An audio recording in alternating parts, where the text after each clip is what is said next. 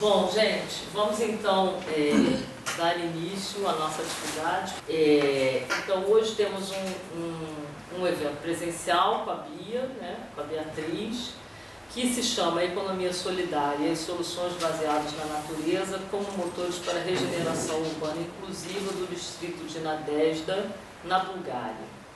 É, a Bia é socióloga, investigadora no âmbito do projeto BINAT, como vocês sabem, na, na da coordenação do BINAT, é membro da coordenação científica desse projeto, que se centra na regeneração urbana inclusiva de bairros de habitação social de sete cidades europeias, através da implementação de soluções baseadas na natureza no espaço público, como resultado de um processo de cocriação envolvendo municípios, stakeholders e população das áreas de intervenção. É membro permanente do grupo de estudos sobre economia solidária da Consolstes, colaborou eh, no projeto PATS, Juventude para Economia Solidária e Empreendedorismo na Europa, apoiado pelo programa Erasmus Plus, bem como na plataforma de inovação social, apoiado pelo programa eh, Compete ou a FSE-FCT. É membro fundadora da Incubadora Social Acadêmica da Faculdade de Economia da Universidade de Coimbra e foi professora visitante de Economia Social e Solidária no Politécnico de Leiria. Sua tese de doutoramento em elaboração centra-se nas economias alternativas, nomeadamente Economia Social e Solidária, Incubação Social e Iniciativas de Coprodução. Sua formação profissional e áreas de atuação também incluem gestão de projetos sociais por organizações nacionais e internacionais sem fins lucrativos no Brasil, dedicados à promoção e defesa dos direitos de criança e adolescência em diversos contextos, como comunidades urbanas, indígenas e quilombolas, e o desenvolvimento de indicadores sociais e ferramentas de monitoramento e avaliação de políticas públicas para a infância. Antes de começarmos, não é, é sempre é importante a gente enfatizar os contributos teóricos, epistemológicos é, e empíricos trazidos pelos membros do ECOSOL é, é uma satisfação muito grande nós termos hoje essa, essa conversa com a Beatriz, porque a Beatriz ela, ela conseguiu dois feitos assim importantíssimos e eu gosto sempre de destacar isso. O primeiro deles é que, como vocês já devem saber, no contexto europeu, o tema da economia solidária tem difícil penetração. Ainda há um foco muito grande na perspectiva da economia social, que, embora não seja é, antitética em relação à economia solidária, tem diferenças em relação à mesma. E a Bia conseguiu furar esse bloqueio né, e trouxe para dentro dos projetos é, do 2030, do, do Horizonte Europa, essa perspectiva da economia solidária sendo valorizada pela Comissão Europeia. Então, eu gosto muito de, de enfatizar esse contributo importantíssimo que a Bia trouxe para dentro da economia solidária no contexto europeu e no contexto português. A segunda coisa que eu gosto de enfatizar é que a Bia é, é, ela foi a primeira pessoa, né, não só do nosso grupo, mas temos conhecimento nesse contexto é, português e, e eu diria até europeu, a fazer uma relação mais explícita entre o que nós chamamos de Nature-Based Solutions, né, soluções baseadas na natureza, e a economia solidária. Porque são dois assuntos que, embora possam parecer é, com uma proximidade imediata, não têm porque a Nature-Based Solution está muito focada numa perspectiva mais técnica, é, nas, nas abordagens é, europeias. E a Bia conseguiu mostrar a importância de trazer essa, essa lente né, sociocultural, política, que a economia solidária é, traz para o terreno, para dentro das Nature-Based Solutions.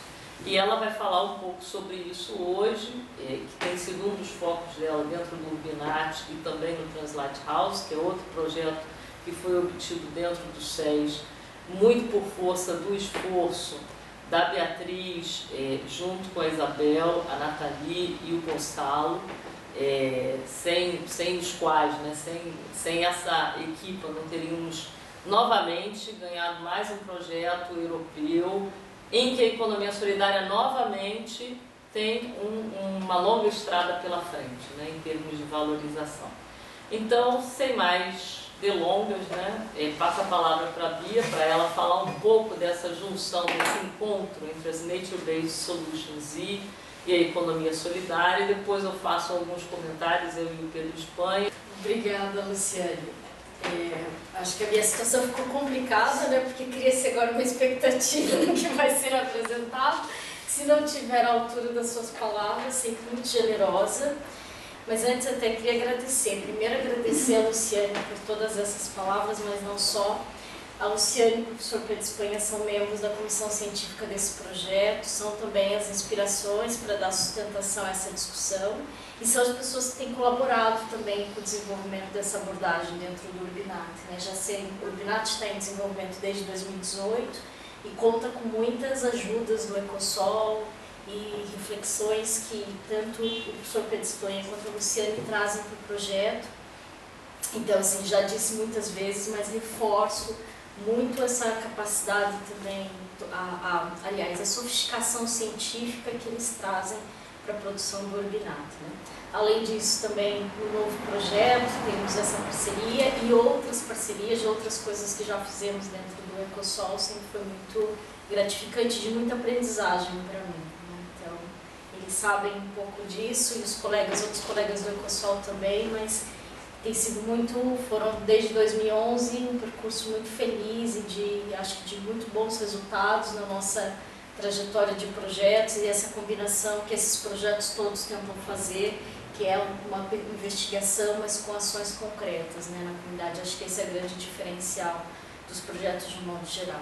A ideia desse seminário era para ser uma discussão mais aberta, interna, ou seja, que, a gente, que eu vim partilhar, né, que é, não, é, não, são, não é uma reflexão científica concluída, é uma reflexão científica em andamento, aliás, ela é mais técnica do que científica, mas tá, para receber, a ideia é receber também contributos do, do Ecosol, das pessoas que estão cá, sobretudo esse grupo que é um grupo que trabalha já com o tema, que eu acho que vai poder é, tornar essa reflexão ainda mais, é, melhorá-la, né, digamos assim. Então, a ideia é que seja uma conversa, fiquem à vontade para interromper e para colocar questões enquanto estivermos aqui nessa conversa. A Luciane já conhece bem esse trabalho, que é os resultados desse trabalho, porque é um capítulo de livro também, ou seja, a proposta seria apresentar uma parte do que tem sido feito dentro do Illuminati, focado nesse capítulo de livro que está em andamento, mas refiná-lo, não é? E a possibilidade também de ampliar essa discussão para outros campos.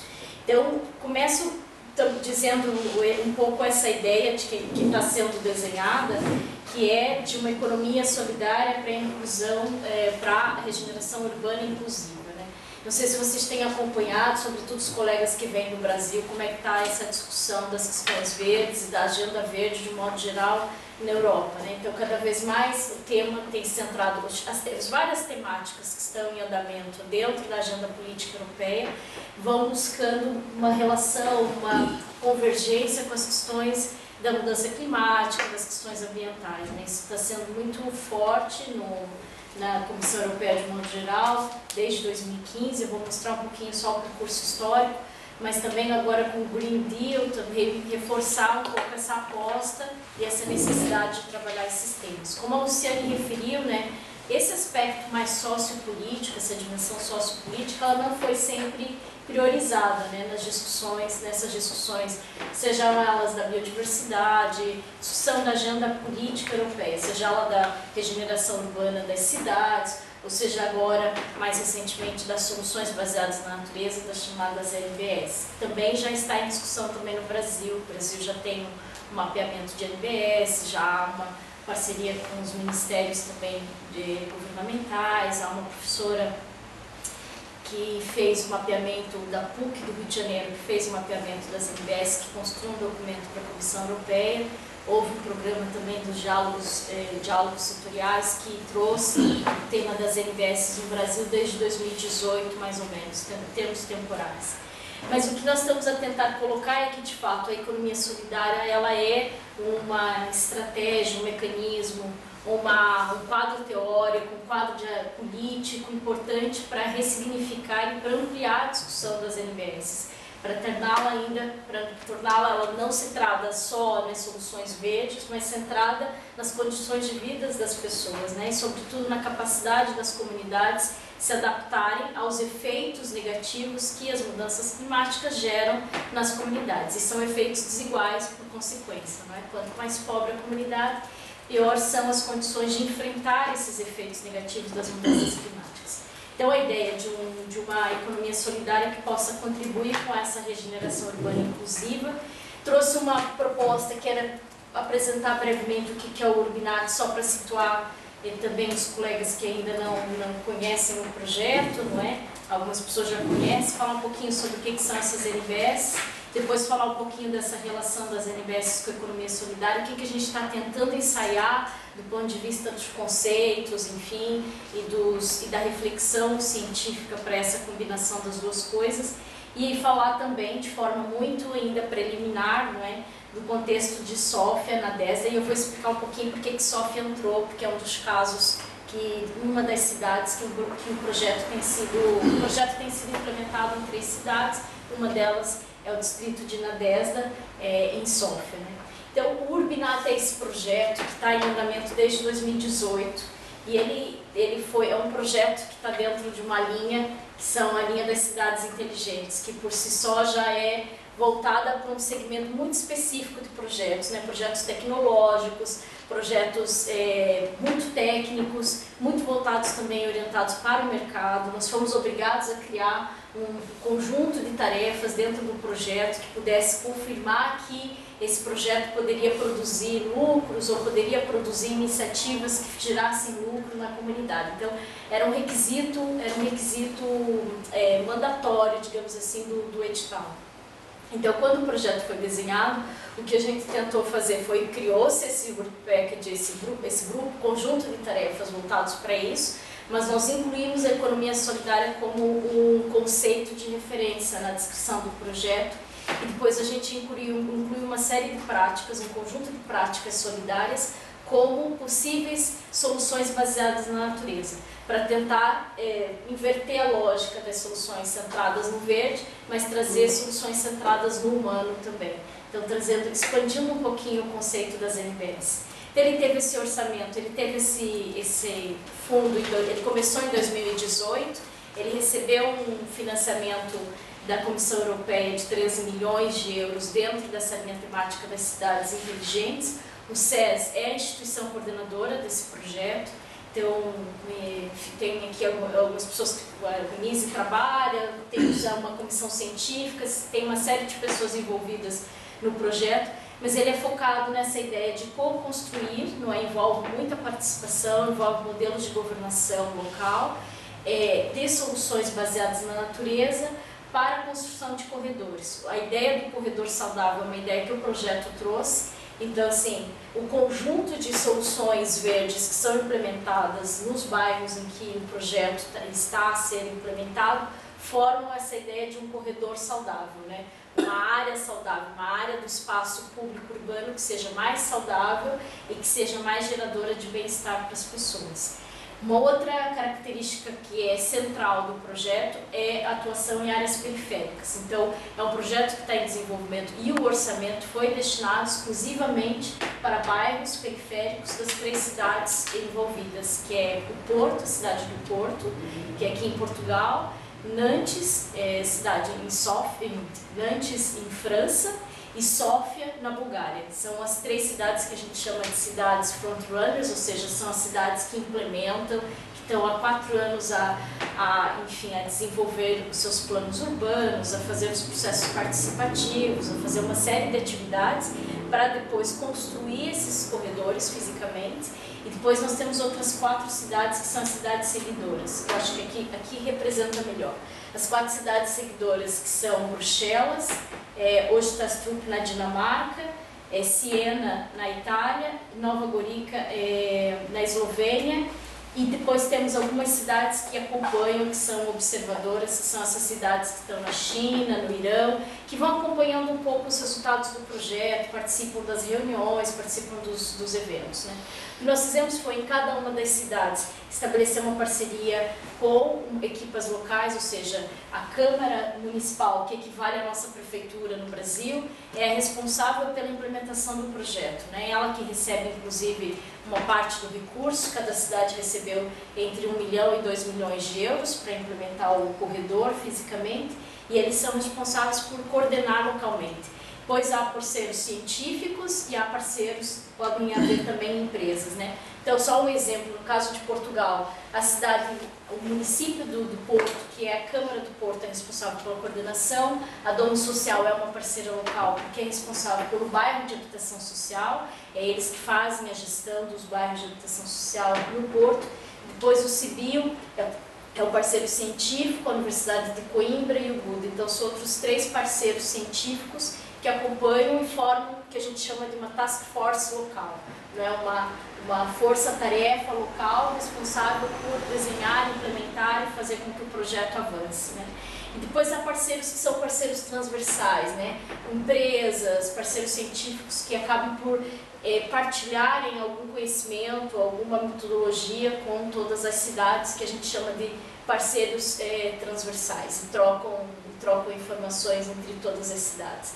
No Paraná, a SEMPA, que é a Isabela, faz parte da Comissão de Proteção é, de proteção ao, de, é, ecologia, ecologia ambiente, proteção e proteção aos animais, exatamente, que é vinculada à Assembleia Legislativa do Paraná, entrou no projeto como observadora dois anos atrás, é, já organizou um seminário também no Paraná, chamado Cidades Inclusivas e Participação, que também discutiu é, vários temas, dentre eles a economia solidária para a regeneração urbana, ligando experiências da Europa e experiências do Paraná.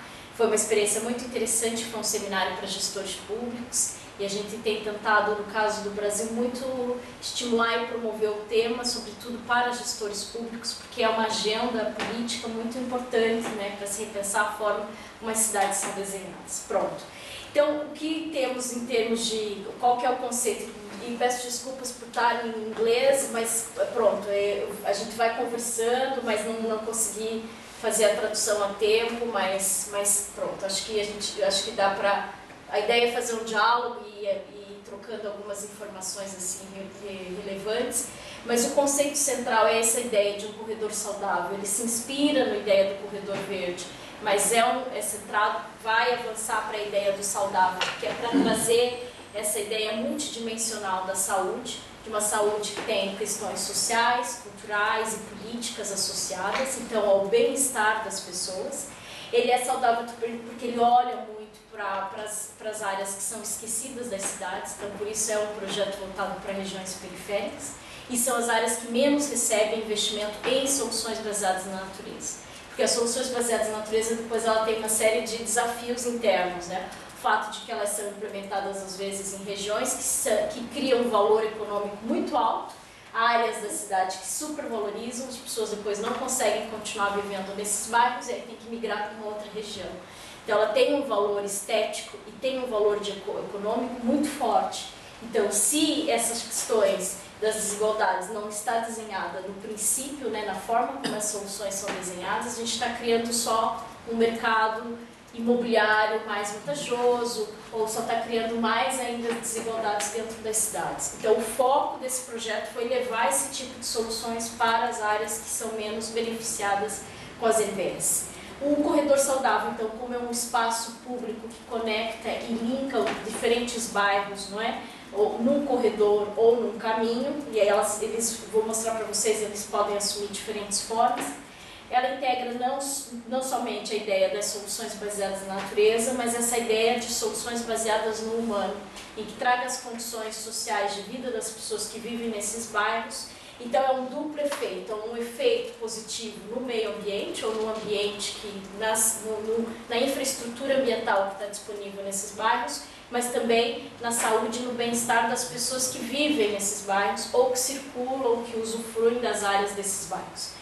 O projeto ele tem esse percurso, né? Foi pensado então com diferentes etapas do processo de implementação. Então, se a gente criou essa ideia de cocriação, de um processo de cocriação, e que houvesse uma, uma, uma participação intensa desde o princípio do projeto, desde a fase de co-diagnóstico, por isso é chamado co-diagnóstico, co-design, co-implementação e co-monitoramento, numa ideia de que as pessoas possam participar, são as pessoas que conhecem efetivamente os problemas dos bairros, são as pessoas que vão usar depois essas soluções quando elas estiverem desenhadas. Então, ele, ele, ele, ele tem como uma vertente, é centrado numa colaboração. Uma outra questão importante é que o processo é mais importante do que o resultado. Então, assim, o projeto à procura, não é, é, normalmente se fala muito da dimensão estética dessas soluções, como um dos benefícios da dimensão cultural, digamos assim, né? Fala-se de quatro dimensões, uma delas é o cultural, que é onde nós estamos mais próximos, digamos assim, porque o SES não é uma, uma, não é uma instituição de pesquisa sobre ecologia ou meio ambiente, né? Não é o tema do SES. Mas na dimensão cultural, que tem a ver com os usos, as práticas, o estético, a, condição espiritual das pessoas quando elas têm, então, têm acesso a essas áreas, é onde a gente se situa. Então, por isso a gente fala muito que o processo aqui é muito, muito mais importante do que o resultado final do corredor. Né? Procura-se não um corredor perfeito, mas um processo que seja mobilizador, que seja, de fato, produz efeitos políticos no, no contexto dos bairros. Né? Claro, depois, é, essa é a fase onde nós estamos nas frontrunners, a gente está aqui nesse processo, a gente está na fase de co-implementação e no monitoramento da, do, da, das atividades no, nas cidades frontrunners. Né? As cidades followers estão aqui, estão a terminar, estão a, ter, terminaram já o diagnóstico e elas estão a terminar a fase de co-design, terminam no final do ano, início do ano que vem, termina essa etapa do co-design das soluções. E isso foi feito a partir do que, né? É, são várias, são algumas imagens das atividades que foram acontecendo, ou seja, as reuniões com os políticos locais, com os vereadores, os vereadores que são o cargo executivo aqui em Portugal, né? Mas assim, a reunião com os vereadores, com a estrutura executiva das cidades, depois várias reuniões com as equipes técnicas, com as pessoas, com os diferentes stakeholders, teve processo de co-design nas escolas. Então, essa fase do co-design ela foi muito interessante porque foi o levantamento das necessidades, foi o reconhecimento do território, foram feitas caminhadas pelo bairro, não sei se tem fotos aqui, mas aqui ilustra um pouco assim, as várias metodologias. Foram feitas caminhadas pelo bairro, os, os focus grupos, que é uma metodologia que né, a gente conhece bem, as atividades na escola para as crianças também participarem, avaliarem né, como é que elas veem, como é que elas avaliam as condições da infraestrutura dos bairros. Enfim, teve uma série de atividades, o Fotovoz, é, atividades do desenho dos sonhos, dos sentimentos, mapeamento dos pontos, mapeamento afetivo das, dos, das áreas do bairro, que significa aquelas áreas e como é que eu me sinto, como é que eu me relaciono com, esses, com, essas, com essas, essas áreas. Essa, essa fase de co-design ela foi bastante interessante. No final, é, foi se selecionado, digamos assim, um conjunto de soluções que pudessem ser implementadas de acordo com as necessidades que as pessoas foram apontando. Ela foi muito intensa, ela também apanhou a pandemia, então algumas sessões foram canceladas, depois teve que se fazer algumas sessões é, online, quer dizer, teve toda uma adaptação também da metodologia, mas no fim, essa, no fim se construiu um conjunto de soluções, cada uma das cidades desenhou quais seriam, o projeto, quando ele arrancou, ele preparou um catálogo que eu vou mostrar para vocês, mas foi interessante. No caso do Porto, por exemplo, o catálogo foi rejeitado e as pessoas criaram suas próprias soluções. Desenharam aquilo que achavam que era interessante. Algumas delas são convergentes com o que estava no catálogo, porque ele combina um pouco soluções físico-tecnológicas e territoriais e soluções imateriais. Esse é o resultado do desenho do, do corredor em cada uma das cidades. Então, assim, cada uma das cidades ele tem uma forma física, acho que aqui fica mais claro, né, para perceber. Esse traço mais verde escuro é por onde o corredor vai passar nas três cidades. Nantes é na região do Nantes Norte, que combina três, três áreas de habitação, quatro áreas de habitação social e combina também um conjunto de, de soluções que eles já tinham, já estão em desenvolvimento, implementação. Aqui a gente fala que a, a, em Sófia cruza, desculpa, em Nantes ele, ele percorre em torno de alguns bairros, vai percorrendo. Em Sofra fala-se que se cruza, uma ideia de cruzamento dos bairros que foram envolvidos. E aqui no Porto ele liga três bairros, que é o bairro do Falcão, o bairro do Cerco e o bairro do Lagarteiro, que são três bairros também da cidade do Porto. É, e o bairro do Cerco é um bairro de comunidade cigana, uma, uma presença forte de comunidade cigana que, por sua vez, sofre de todos os estigmas e preconceitos que discriminação, que, que, que é um dos, um dos desafios que Portugal também enfrenta no sentido da discriminação étnico-racial. E no bairro do Porto, que é interessante, por exemplo, é que eh, dentro do trabalho que a gente fez de participação, nós não conseguimos mobilizar as associações locais, elas não participaram, elas vieram para uma, uma atividade, o tema da, da, comunidade cigana não ganhou, não reverberou, então elas não participaram depois das atividades de participação. Que a gente está agora na fase de monitoramento e avaliação, que é uma fase de também participativa, né, que vai se identificar então quais foram os problemas, as lacunas do processo participativo. Nós estamos a tentar refletir, então, por que, que isso aconteceu, a conversar, fizemos várias entrevistas com as pessoas, tem três associações do bairro, Vamos a conversar com a associação também para perceber o que, que foi, o que está na base dessa, dessa falta de mobilização e engajamento das associações da comunidade cigana no processo. Então, é, não sei se tem alguma questão, posso ir passando, que agora a gente entraria no tema do que, que são as NBS e para falar então da economia solidária da dimensão.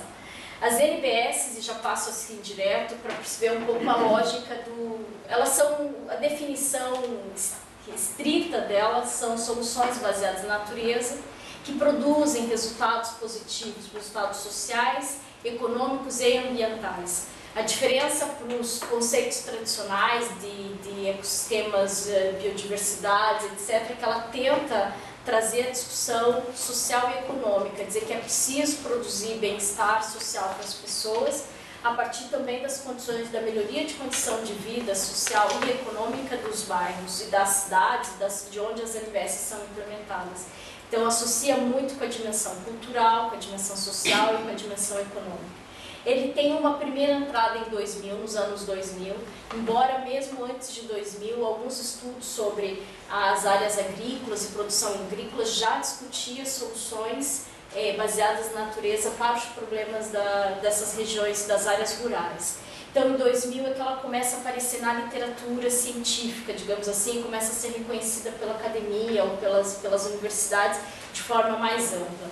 Depois, em 2012, tem uma definição que é o UCN, que é uma rede internacional, também muito, uma rede que produz muito, que são as discussões sobre biodiversidade no mundo, é, lança uma definição sobre o que, que, seriam as soluções baseadas na natureza. A definição deles é interessante porque elas, eles falam, por exemplo, de soluções que vão buscar nos conhecimentos tradicionais, eles trazem a discussão dos conhecimentos tradicionais, trazem a discussão da diversidade de saberes, não é? como um caminho interessante e necessário para se desenhar essas soluções baseadas na natureza.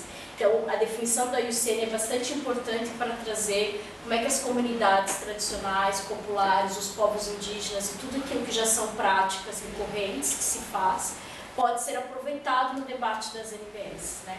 Em 2014, esse, esse relatório da, da Comissão Europeia foi uma consulta sobre soluções baseadas na natureza para perceber quais eram as soluções que existiam, mais ou menos um pouco pelo todo, pouco pelo todos na Europa, mas não só.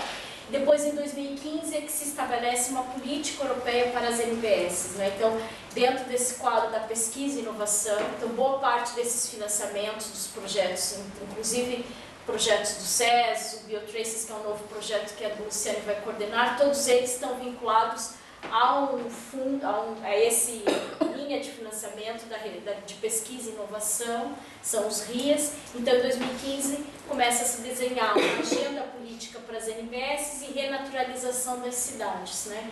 E aí vem com muita força o tema das NBS e, a partir desde então, quase que uma parte significativa de financiamento é direcionado para esse tema. 2017 vem, é, começa o financiamento de novo, lança-se esse documento que é o fortalecimento das NBS na política europeia e o desenvolvimento de uma comunidade de pesquisa e inovação para a NBS. E aqui uma, uma série de consórcios começam a receber financiamento. 2018, por exemplo, o Urbinat é financiado, mas antes do Urbinat, outros projetos internacionais já tinham recebido financiamento. 2017, esse documento bastante importante, que é do Eclipse, que é sobre é, como avaliar e medir o impacto das, das NBS, foi uma referência também para classificar os grandes tópicos das NBS, quais são os grandes temas, né? se classificaram 10, 10 grandes temas, participação, regeneração urbana, é, qualidade do ar, é, qualidade da água e assim por diante, justiça social, quando como 10 tópicos principais. Depois vem a contribuição do Brasil para o Roadmap, que é esse documento que eu estava dizendo para vocês, que é o, esse Roadmap das Soluções Baseadas na Natureza e Cidades Resilientes, o programa 2014-2020 e agora o mais recente, esse é mesmo novo, até no, é uma informação que eu fui buscar agora para partilhar, que é a nova definição de NBS, produzida pelo UNEP, pelas Nações Unidas, o Fundo das Nações Unidas para o Meio Ambiente, que é o NEA 5, foi um encontro que aconteceu em março, e aí eles lançam um, uma definição que eu vou até partilhar com vocês, mas essa é a definição agora que está sendo inclusive usada pela Comissão Europeia, então eles vão abandonar a definição anterior para passar a usar essa, e tem uma, uma particularidade, que é essa informação que eu pus aqui, né? que é não só foi um acordo multilateral entre todos os países, mas como eles agora reforçam e dão um destaque maior para a salvaguarda dos direitos, trouxeram o tema dos direitos, que era uma coisa que não existia até então na definição da Comissão Europeia, e trouxeram uma necessidade particular da defesa dos direitos das comunidades indígenas, ou das pessoas da população indígena, também que era uma coisa que não aparecia no debate da Comissão Europeia até então. Então, isso foi uma coisa muito boa. Aqui é a definição da Comissão Europeia. Então, inspiradas, exportadas pela natureza, com um custo efetivo que simultaneamente promovem ah, benefícios ambientais, sociais e econômicos e ajudam a aumentar a resiliência dos, dos, dos, dos contextos. E agora, a nova definição, que é essa definição da UNEP, foi aprovada em março e foi aprovada recentemente para uso na Comissão Europeia, que aí vai trazer a questão do humano novamente, da produção dos serviços ecossistemas, da resiliência e da biodiversidade, mas, sobretudo, a implementação de NBS que salvaguardem os direitos das comunidades indígenas e dos povos indígenas. Né? Então, acho que essa é uma definição bem, é um salto importante, assim, digamos, nessa discussão.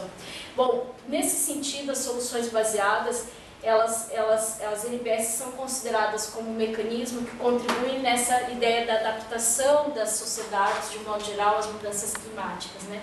Seja as NBS para reduzir essa exposição socioeconômica das comunidades, seja para os efeitos desses, os efeitos socioeconômicos é, produzidos, reduzir os efeitos negativos, efeitos socioeconômicos dentro das comunidades, ou o terceiro item, que é o que nós temos explorado mais, que é para fortalecer essa capacidade adaptativa das comunidades para essas mudanças climáticas. Né? Então, a gente tem defendido essa ideia, para além do verde, uma ideia que vai trazer soluções baseadas no social, que vai unificar um pouco o que é o contexto social e físico dos espaços, que vai entender um pouco a dimensão social como meio, mas também como fim, ou o ser humano, a participação, toda essa discussão sociopolítica como meio para as estratégias de implementação, mas como um fim em si mesmo, como olhar também para essas dimensões quando se implementa.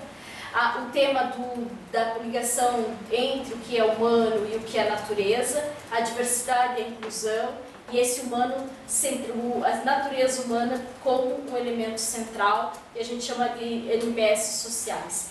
Por isso, gente, o que o projeto criou foi um catálogo de NBS. Então, as territoriais e as tecnológicas são as tipologias mais comuns que a gente encontra das NBS.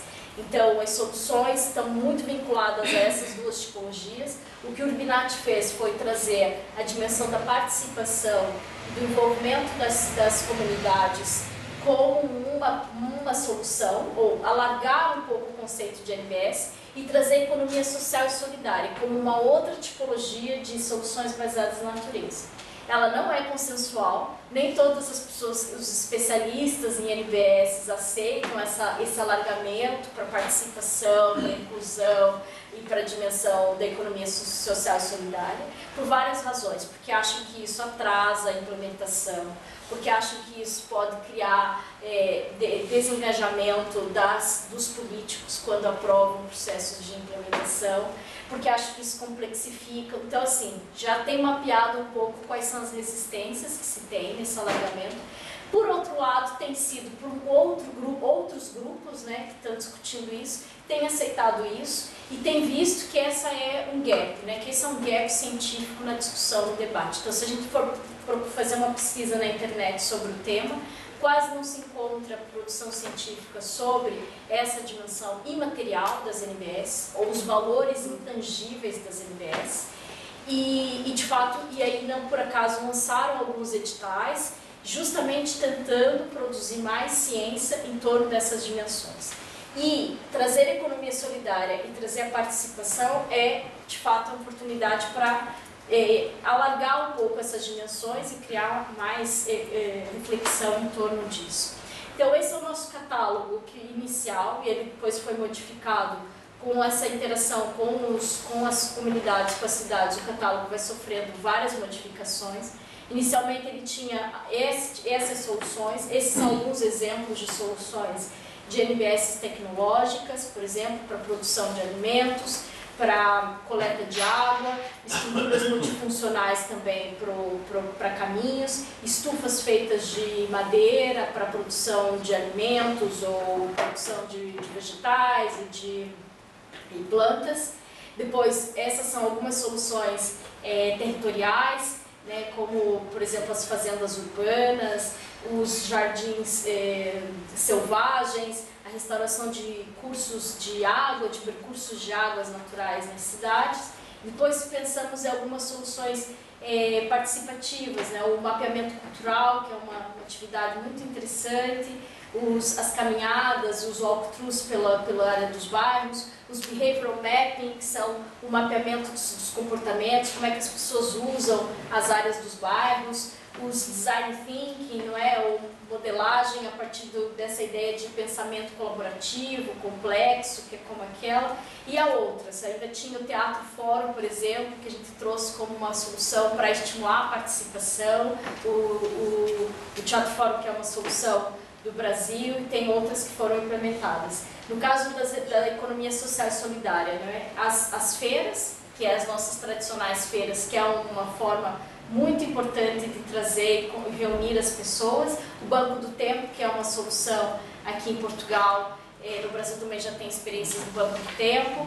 É, a Sandra tem muita experiência no Banco do Tempo, mas a gente colocou como uma, uma solução para dentro, dos, das, dentro do catálogo. As moedas sociais, como uma forma de estimular as trocas, permanência é, e, e interação e circulação dos recursos dentro das comunidades, os bread houses, que é uma iniciativa, umas casas de cozinha comunitária para a produção de pães, depois fala um pouquinho, o bread house especificamente é o caso de Sofia, que a gente tem acompanhado, tem participado do projeto. Então a ideia da economia solidária como esse contributo não é, para essa adaptação, adaptação da capacidade socioeconômica das comunidades e o que, quais são os elementos que é preciso considerar, isso tudo está em discussão. Né?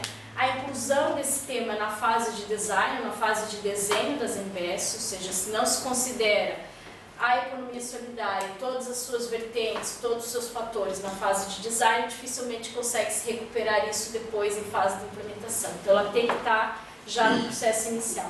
A ideia de que as comunidades elas participam, elas estão envolvidas em processo de aprendizagem e aprendem muito sobre isso, né? E a partir do momento que elas aprendem, elas também são automaticamente se empoderam.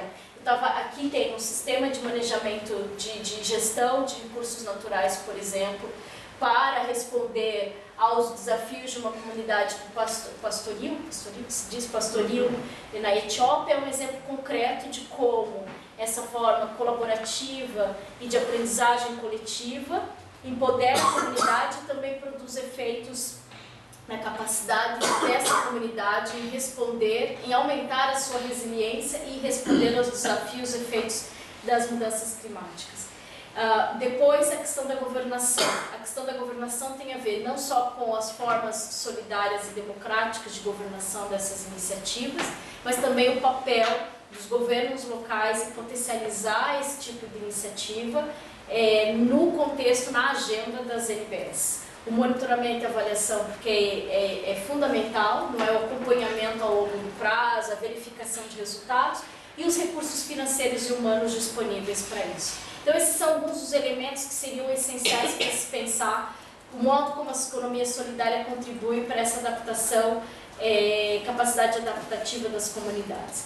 Também há uma série de, de experiências, e aqui é um trabalho da Ronise de sistematização, e a Luciene também contribuiu, eu não trouxe todas, mas trouxe só algumas, para explicar que a economia solidária já traz a discussão ambiental há muito tempo, né, na sua essência.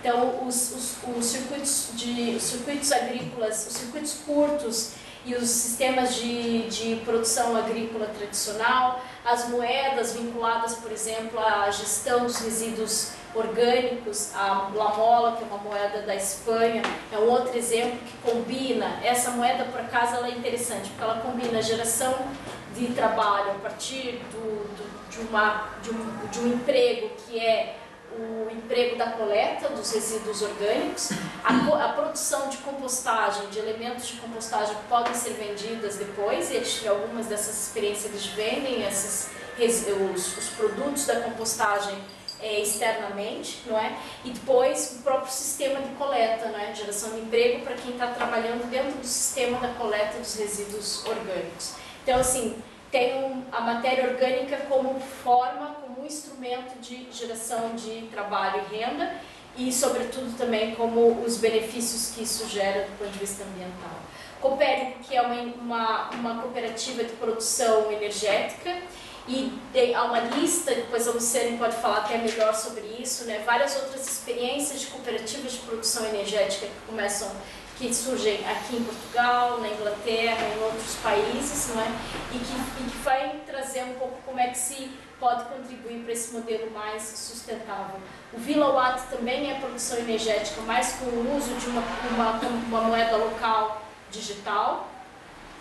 O alojamento sustentável cooperativo, eu não sei em que ponto está, mas ele, é um, ele é, foi um membro, inclusive, da Rede PES, da Rede Portuguesa de Economia Solidária, que também trabalha com construção de casas mais sustentáveis de forma colaborativa, e as deliciosas diferenças, que é um exemplo que já existem em Lisboa e em outros lugares, mas que a partir dos, das, dos, das pessoas que participam da cooperativa, que são pessoas em situação de doença mental ou de, de com alguma né, necessidade especial, eles fazem limpeza de espaços urbanos, ou seja, oferecem esse serviço como um serviço público, um serviço, um serviço, pronto, um serviço que fica, que tem a ver com a limpeza dos espaços públicos urbanos feitos pelos cooperados, pelas pessoas que participam da cooperativa. Bom, uh, o que que isso, o que que, aqui são, é só uma lista de como é que a gente sistematizou essas, essas iniciativas e como é que a gente está olhando para elas do ponto de vista da inovação e do ganho de escala. Eu queria entrar direto, até para ganhar mais tempo para o debate, que isso que importa, nos quatro eixos assim que podem ser é, os quatro potenciais fatores, formas, dimensões, digamos assim, de analisar a relação das NBS com a economia solidária. Então, o primeiro é essa distribuição mais equitativa, não é? Essa ideia de que a gente precisa, dentro do debate das NBS, criar direitos iguais no acesso à produção e consumo, que é um debate que vem da economia solidária, mas que ele não, não aparece no, na discussão sobre, sobre NBS. E, de fato, os recursos naturais quase sempre ficam restritos ao mercado, quase sempre são os mesmos atores a usarem esses recursos, a, a mercadorizarem também, transformarem esses recursos em mercadoria. Então, aqui tem a ver com isso, com como é que se potencializa uma distribuição mais igual, mais equitativa, não só dos recursos naturais, mas também dos benefícios que advêm das, das soluções baseadas na natureza. Pois há outra dimensão que é a saúde mental das pessoas, não é? Ou seja, sentir-se sentir-se bem-vindo, sentir-se bem, sentir-se como apreciado, sentir-se como contribuindo para a sociedade e a saúde física, que é as boas condições de trabalho, os salários em condições e a geração de trabalho digno para as pessoas. Todos esses elementos, tanto da saúde física quanto da saúde mental, que já é, ou seja, são, fazem parte dos, de um quadro de princípios da economia solidária, eles são uma grande oportunidade para que esse tipo de soluções, quando implementadas, tenham em consideração. Além disso, essa conexão com o território, com o nível territorial, em que as atividades econômicas podem é, produzir benefícios é, imediatos, mas uma riqueza que também é gerada, que pode, em última instância, também permanecer nessa comunidade e pode melhorar as condições de vida das pessoas. Então, as NBS, elas são um mercado hoje, né? Há empresas que foram construídas, são startups greens, empresas com grande, grandes empresas que foram desenhadas, orientadas para a implementação deste mercado, deste segmento. Então, de que forma que a gente discute tudo isso, não é toda essa discussão da produção econômica e como é que a economia solidária ajuda a ter uma melhor distribuição desses benefícios, por exemplo, através das moedas em que essa riqueza permanece na comunidade, ou de políticas ou estratégias explícitas que mantenham essa riqueza gerada pelas NBS dentro da comunidade. Uma outra, uma, um outro ponto, outra dimensão tem a ver com respeito ao espaço público e essa sensação de pertencimento, de coesão social com o espaço público. Então, as NPS elas são implementadas, muitas delas, em áreas de espaço público. Cada vez mais o espaço público é um elemento importante da nossa socialização, das formas de convivência e também o espaço público é um elemento é, importante de encontros, de interação e ele, ele é constitutivo dessas políticas e ações solidárias. Né? Há um conjunto de objetos que definem fronteiras, que definem zonas, os prédios dentro e fora do espaço. Então, ele, o espaço público é um espaço importante para relações e ações de solidariedade. Ou também ações, ações, ações e, e interações não tão solidárias, né? como é o caso é, do debate sobre as desigualdades do espaço público, os corpos indesejados e tudo isso. Né? Isso não é aprofundado aqui, mas tem a ver com esse respeito ao espaço público e essa ideia de que a economia solidária pode ajudar numa relação mais plural dentro do espaço público urbano e pode ajudar a evidenciar essas relações mais solidárias. Né? O Lefebvre fala desse espaço diferencial, de como é que Aliás, há um estudo muito interessante sobre como as moedas sociais criam um espaço diferencial. Né? Existe um espaço urbano pré-existente, depois tem, existe um novo espaço urbano criado a partir de práticas solidárias como as moedas sociais. E, de fato, essas novas sociabilidades, essas novas convivialidades são, são possíveis. Através também, não só através da, das moedas sociais, mas também através dos, dos um, do subsistema de produção e de circulação, como é o caso das moedas, que é um subsistema de circulação, mas também das cadeias produtivas, das cadeias de, das, das, das iniciativas dos circuitos informais e formais, de pequena escala, é, de, de produção. Então, essa funcionalidade do espaço público ele é expandido. Vamos, a gente está reduzindo o monopólio do espaço, está diversificando a forma como as pessoas fazem uso desse espaço e a forma como as pessoas se apropriam dessas áreas, né? E acho que são inúmeras, aliás, e para além disso, essa percepção de segurança e de coesão social, como é importante a coesão social dividida nessa ideia de pertencimento, nessa ideia de relação com essa uma determinada área e na ideia de relação com as pessoas que lá vivem. Então, essa coesão social dividida em três partes, ela também é melhorada, ampliada a partir de soluções solidárias.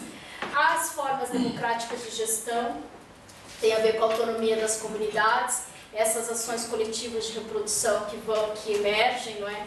Essa ideia da assistência mútua entre as pessoas, as relações nos, dentro dos, dos, dos bairros, a, a partilha de informação e transparência, não é? Faz com que também as pessoas participem e tomem parte dos processos decisórios e políticos de governação dos, dos bairros. E aqui o foco dessa economia solidária, de uma gestão democrática e de uma co-governação, ela reforça um pouco essas habilidades básicas, que são as habilidades de ouvir, de se comunicar e de negociar, não só dentro dessa tomada de decisão, que é essa relação entre as pessoas e os tomadores de decisão, mas também entre empregadores e colaboradores e, e trabalhadores, é, entre as dinâmicas de autogestão que, que são colocadas e, consequentemente, estamos a falar da alteração das relações de poder é, num quadro de maior equilíbrio nas parcerias que, são, é, que, que, existem dentro e fora das, das organizações. E, por fim, a dimensão da natureza e a relação. Né, de, de novo, é, a, a, economia solidária, muitas das suas iniciativas, por princípio, já é, tem a, o, a sustentabilidade ambiental como parte da sua como, como o elemento que forma a própria iniciativa, mas aqui estamos a falar também na forma como a questão dos, do, essa, é uma contestação a esse enriquecimento desenfreado, digamos assim, de determinados grupos privados sobre a, a mercadorização dos recursos naturais. Então, um projeto político trazer essa ideia de uma economia que circula e que é mais solidária põe em causa toda essa concentração da exploração dos recursos em determinados segmentos. Né? Depois disso, tem algum conjunto de práticas que são de inclusão econômica e de restauração da, da, da, biodiversidade, como a própria agroecologia, as cooperativas de reciclagem, as produções orgânicas, os cafés de reparação agora, todos eles estão, trazem, estão dentro dessa discussão eles, estão dentro da discussão da economia circular, mas a gente não tem usado essa discussão da economia circular, até por princípio, porque ela não faz o debate político que, na mesma proporção que a economia solidária nos coloca. Não é? E por fim, eu não sei se querem fazer uma pausa, porque talvez é muita coisa. O que, que achas? Agora já está, estou caminhando para o fim. Vou tomar, então eu vou fazer uma pausa para tomar água. Sim, não está se criando.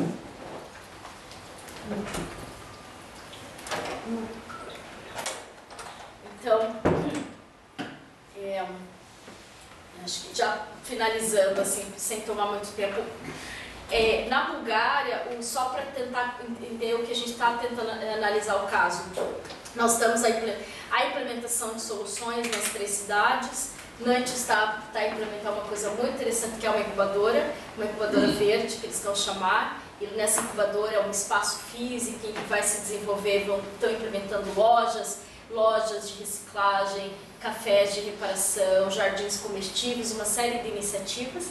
O Porto ah, tem duas iniciativas que são as mais eh, fortes, né? Um é uma, um mercado solidário, que a gente já partilhou também. A Roni está fazendo um trabalho de campo nesse momento os casos que participam do Mercado Solidário. Então, em média, são 10 a 11 iniciativas em todas as edições do Mercado Solidário, que acontece numa área do espaço urbano do Porto de Campanhã, que é a cidade, o bairro que está a receber.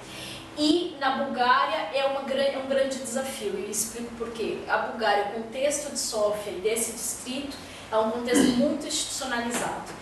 Então, eh, aí, desculpa, só para voltar um bocadinho. No Porto também está se implementar uma gestão coletiva de quatro talhões dentro da horta urbana do Porto e eles eh, criaram um germinário. Esse germinário é para produção de sementes exclusivamente e depois outra parte do, da, da horta vai ser até para plantio.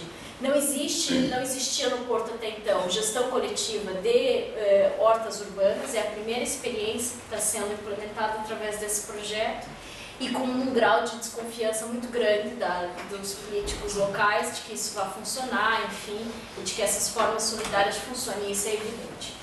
Em Bulgária, Bulgária tem uma tradição muito forte baseada na economia social e aqui faço referência a duas colegas, a Nathalie Valé e a Milena é, Petrova, que estão a trabalhar sobre a Milena, é da Bulgária, é quem está a contribuir com as informações né, mais, mais ricas que vem no caso da Bulgária.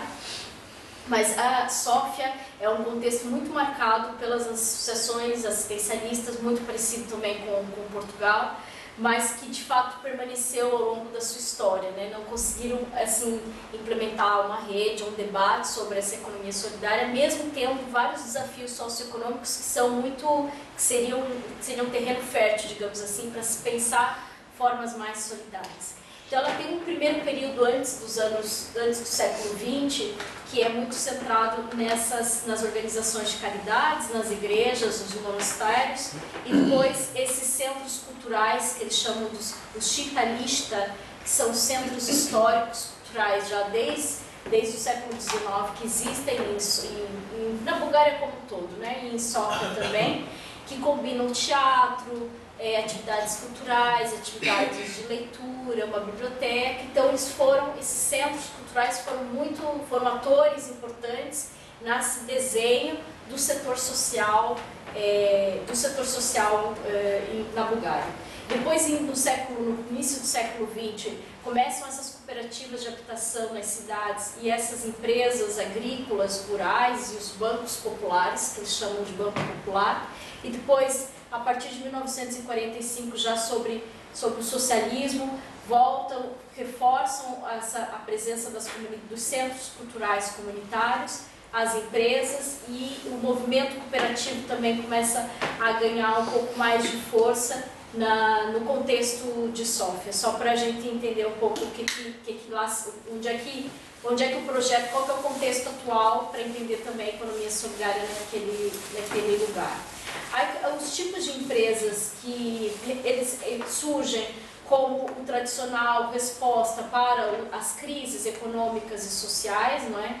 Tem as ondas de crescimento e vão se alterando ao longo dos anos, um pouco como já o De Fourny eh, falava muito sobre isso, né? Então, ela tem mudanças ao longo da história da Bulgária e durante essa transição para a Comissão, para a União Europeia, eh, tem quatro, cinco focos, quatro focos na verdade, principais, né? Essa política social, o mercado e a eficiência do mercado, a dificuldade de responder aos, aos desafios sociais e econômicos, a presença e existência de uma economia informal e esse terceiro setor e, as, e, a, sociedade, e a sociedade civil, não é?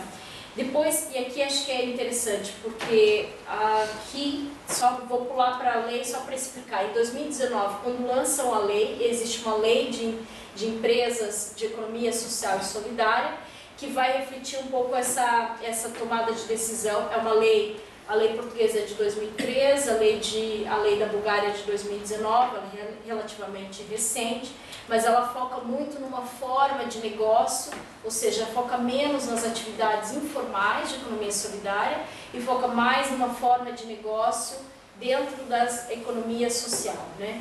E essa lei teve três objetivos principais. A primeira, regular as relações, é, é regular as instituições é, que estavam associadas à economia social solidária, definir os tipos de empresas sociais e as medidas que pudessem é, medidas para apoiá-las, não é? E descrever quais são as, as, as, condições e requerimentos que pudessem regular as atividades é, das empresas sociais. E é muito centrada nas empresas sociais. Aqui surge um conjunto de, e voltando um bocadinho, deixa eu só tentar um conjunto de iniciativas que são muito voltadas para esses serviços de educação, serviços de saúde, os trabalhos sociais os, e, o, e atividades de cuidado e empresas voltadas para o tema da, das questões culturais.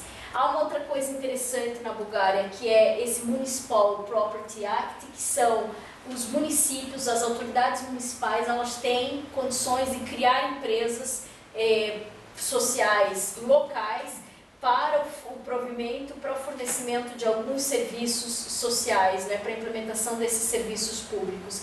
Isso porque em 2003, é, com essa lei da assistência social, há uma desinstitucionalização dos serviços sociais e então boa parte desses serviços passa a ser ofertados, ao invés do, pelas autoridades públicas municipais, passam a ser ofertados pelas entidades locais, né? por entidades da economia social, por organizações do terceiro setor, da, organizações da sociedade civil, é, para fornecer. E surge também um conjunto de empresas sociais que passam a fornecer esses serviços em articulação com o nível municipal. Então, o primeiro a primeira questão, uma das primeiras uh, atividades que foram que foi feita pelo projeto foi primeiro a aplicação de um survey para a gente perceber quais eram as prioridades das pessoas o que significa o tema da economia social e solidária e curiosamente as pessoas têm uma atenção mais, eh, ou seja, olhou o survey tentava analisar todos os tipos de NBS e também analisar as NBS de economia social e solidária. As respostas, as pessoas têm maior interesse para iniciativas não comerciais, que demonstra essa ideia de um, de um sentimento mais uh, coletivo, uma preocupação também com o bem público, com os espaços públicos, essa ideia de partilha e de colaboração. Esse foi um primeiro resultado. O outro foi esse potencial, o que eles achavam que era prioritário, era as áreas verdes que pudessem acomodar jardins, eh, eh, jardins vegetais, eh, hortas urbanas ou jardins com produção de vegetais iniciativas educativas para as crianças. Era a prioridade do, do que surgiu como resultado nesses surveys.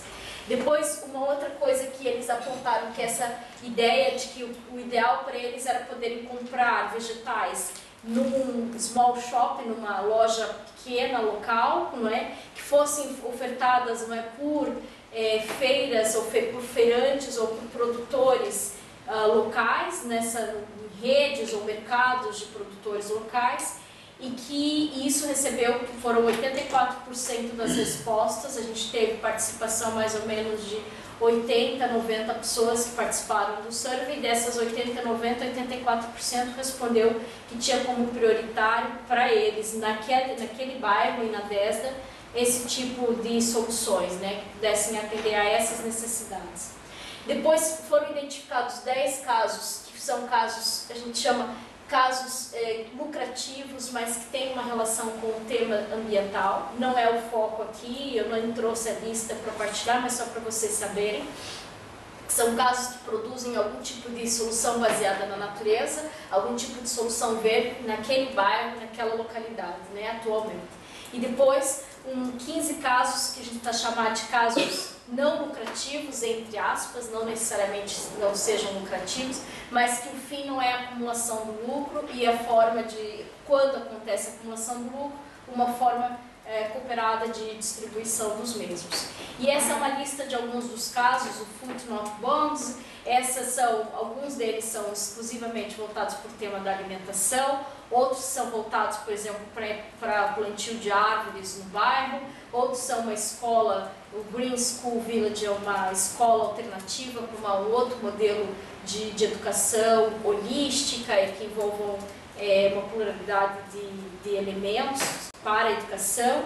É, o Habitat que tem a ver com a, a discussão da, da habitação local e habitações mais sustentáveis e o Zazimiata, que é um movimento, que esse é o único, por exemplo, que você vê mais forte a presença da dimensão política, que eles são um movimento local voltado para o tema do meio ambiente, mas estão preocupados em discutir esses temas na agenda política da, do, do bairro, da região. O Bread House Network, que eu acho que é uma das soluções muito interessantes, eles trabalham muito, eles chamam como auto, um trabalho, um projeto autoetnográfico, não é? É que há uma partilha de espaço, de tempo e de ação para esse fórum de discussão e diálogo através da produção de pães. Envolve atividades artísticas também, tem uma transformação, uma discussão muito interessante pela adoção desses métodos não convencionais, né? Além de ressignificarem não, essas práticas é, do consumo, da produção do alimento e, por fim, oportuniza, eles colocam à disposição é, como cozinhas coletivas ou cozinhas partilhadas né, para as pessoas produzirem, enfim, trata-se de uma atividade que combina tanto a produção dos pães quanto a partilha desses espaços comuns e dos elementos comuns para a produção do pão que é essas Bread House Network. E na verdade existem outras Bread House em outros lugares, mas ela nasce fortemente em Nadesda, pela Nadesda, que é uma das pessoas, inclusive, que já participou de atividades do projeto. Né? Então, alguns pontos só para discutir, já vou terminar aqui, e desculpa, acho que me alonguei demais, mas assim, era só para pôr assim, a discussão, são pontos em aberto que acho que ainda precisam ser explorados e, e, que acho que esse debate convosco seria uma grande oportunidade. Primeiro, as assimetrias que são geradas pela transformação do espaço público e podem ser ampliadas pelas soluções baseadas na natureza, como a gentrificação e todos os outros elementos que produzem desigualdades e as NBS reforçam essas desigualdades. Esse é um ponto que é preciso ter em atenção. A questão da gentrificação ambiental, que está que tá muito voltada para essa ideia de que a gentrificação aprofunda ainda mais essas disparidades econômicas, os grupos sociais e a perspectiva dos grupos que, que acabam por ser subrepresentadas no planeamento dessas soluções, no planeamento das cidades, sejam os grupos sociais, estamos a falar dos grupos das minorias ou das maiorias, mas que estão sub, então os grupos que fazem parte das exclusões sociais que a gente já conhece, a distribuição desigual dos, dos benefícios econômicos, né, incluindo essa falta de criação de emprego e para a inclusão social, ou seja, naquela fase do design, se não for previsto que os empregos gerados pelas NBS devem ser prioritários para determinados grupos, continua a reproduzir as mesmas formas de desigualdades e exclusão. As questões desiguais do uso dos recursos, né? essa ideia de que os usos, que os recursos são usados por determinados grupos privados, ou por outro lado, que os recursos que são explorados em uma determinada comunidade depois são levados, levados para fora da comunidade, transformados em mercadorias, mas, aquele, mas a comunidade não, não é beneficiada, não, se vê, não, não, não há um retorno, não há um retorno equilibrado dos benefícios gerados por essa transformação dos recursos naturais. E mesmo sendo determinadas comunidades, as, as comunidades que são uh, de onde vêm seus recursos sendo uh, roubados ou retirados, explorados. A contribuição do BINAT, como eu falei, dessa questão da transformação das áreas, eu acho que isso pode passar. O caso de Nadesa ainda para nós, é, a, a, a, gente entende um pouco é isso, né? A, a ideia de que as práticas informais, nós não conseguimos capturar, que eram as práticas informais que fazem parte do, do bairro, então não conseguimos identificar, elas não aparecem porque elas ficam muito envolvidas ou então vinculadas às instituições exclusivamente, algumas delas são aquelas que eu mostrei para vocês, ou as empresas sociais ou as, NG, as NGOs. Sabendo que essas ONGs, elas têm formas de atuação, as empresas sociais e as ONGs têm formas de atuação distintas no caso, no, no caso de Nadesda. A questão do, da inserção do tema da economia solidária na agenda municipal de regeneração urbana, né? então estamos a falar de mais investimentos, mais planos estratégicos, mais participação baseada na comunidade, né? então são recomendações assim fortes que é preciso explorar essa falta de reconhecimento da economia solidária no quadro mais amplo das NBS não é porque é uma inclusão de um conhecimento, embora, e aqui retomando o que eu falei da, do IUCN, não é? a definição do IUCN, ela retoma a inclusão do conhecimentos tradicionais, locais e do conhecimento científico, quando se pensa as LBS, ela, eles reforçam essa necessidade de maior transparência e de uma participação mais ampliada. Isso é destacado no IUCN quando fazem a definição das NBS. Ainda assim, é um movimento muito incipiente para aquilo que poderia ser. Um, e, bom, depois as questões, eh, a ideia de cruzar os benefícios né, da, da regeneração urbana com as necessidades reais das comunidades e, e o reconhecimento e o, e a, o reconhecimento de que de fato as práticas de economia solidária elas reconfiguram o espaço público e tornam a economia as, as soluções baseadas na natureza mais do que mais do que soluções verdes acho que esse é o grande ingrediente que a economia solidária traz para a discussão das NBRs.